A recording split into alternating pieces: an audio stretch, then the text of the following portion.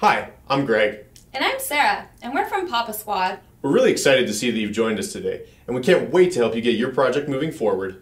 In this video, Greg is going to give you a rundown of HostPapa web hosting. That's right. Let's go.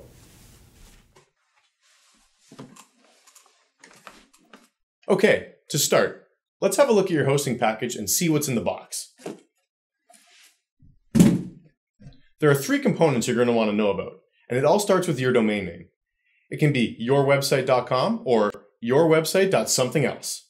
What matters is this. You now have your own piece of land on the internet. This piece carries your name and it's a central place where you're going to be building your online presence.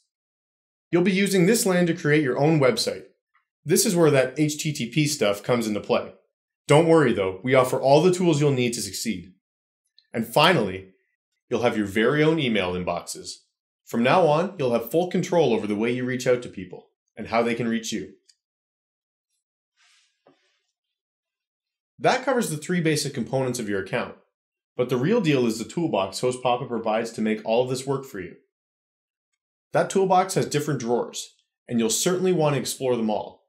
First, you have the tools to build your website. Then you have a way to set up your email. There's everything you need to manage your site and help it evolve. Maybe you want to build an online store, or you just want your site to go mobile. Finally, you'll want to explore your options and improve your website performance and security. You can access all of these tools through your convenient HostPapa dashboard.